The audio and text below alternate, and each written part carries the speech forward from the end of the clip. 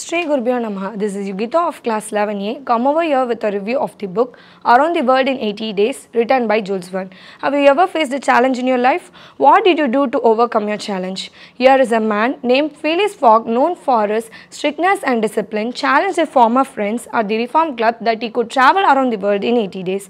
He was so confident that he risked his entire fortune on his bet. This adventure-filled thriller creates numerous frenzy situations that keeps our eyes and mind attached to every word in the book. Now, Mr. Fogg newly employs a French valet Passepartout to accompany and navigate him on his journey. On their journey, they face many hurdles and time-consuming setbacks.